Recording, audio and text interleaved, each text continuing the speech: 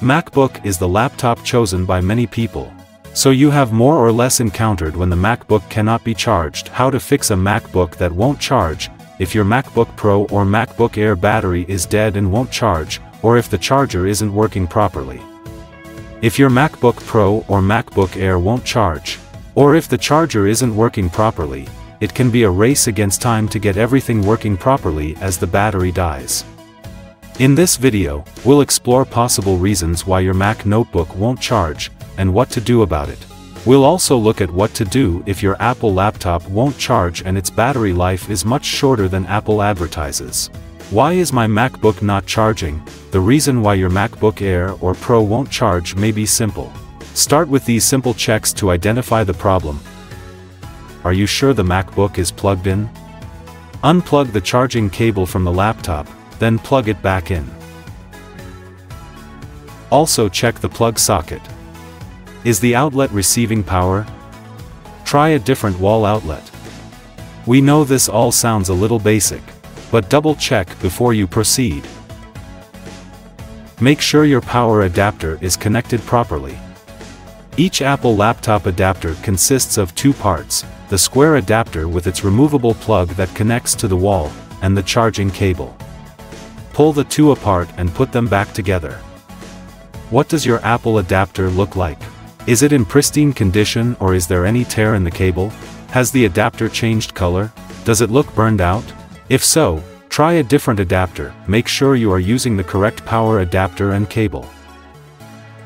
For example, your Mac might charge via USB-C, but not all USB-C cables are created equal. Some cannot be used for charging.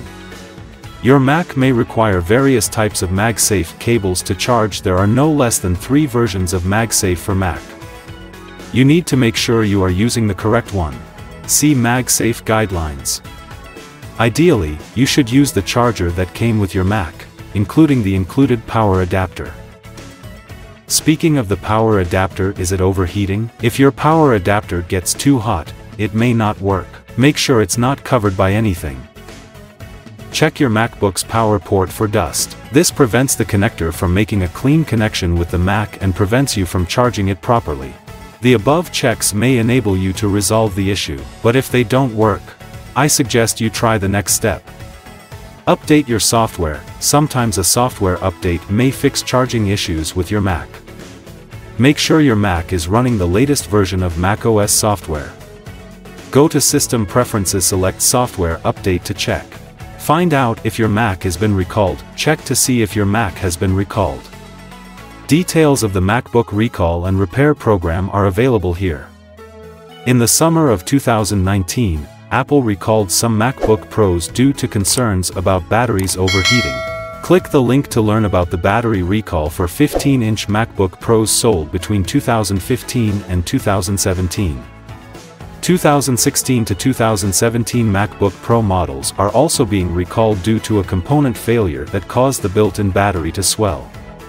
Your Mac charger may also be part of the recall. Due to safety concerns, Apple has recalled some wall plugs, find out if yours is affected. Reset the battery The method for resetting your MacBook, MacBook Pro, or MacBook Air battery depends on the age of your Mac and whether it has an Intel or Apple chip inside. If it's old enough to have a removable battery, you can actually remove the battery. When done, disconnect the power adapter and hold the power key for 10 seconds. Then replace the battery, then plug the power adapter back in. Restarting your Mac should fix the problem.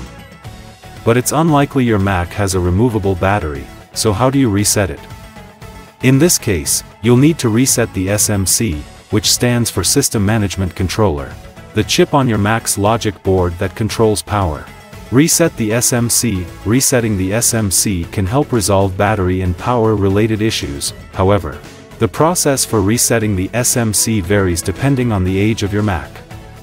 These steps are required if your Mac has an Intel processor. First, shut down the MacBook. Second, connect the power adapter. Third, Press and hold Ctrl add Shift add Option or Alt and the power button for about 4 seconds. Then release all four together. Fourth, press the power button to start up your Mac again. Check if your battery is faulty. As we covered in how to test a MacBook battery. Checking to see if your MacBook battery needs replacing is actually quite simple. If your MacBook battery isn't charging or is draining too quickly, this could be the problem. Click on the battery icon in the menu bar. If service battery is displayed, you may need to replace the battery. Batteries have aged and don't hold their charge as well as they used to. If the above suggestions don't help, then you should take your MacBook to Apple for repair, and maybe even consider battery replacement. The above is the entire content of this video, I hope it will be helpful to you. Or if you have any supplements and suggestions, you can comment below, thank you very much for watching. Like and subscribe, see you in the next video.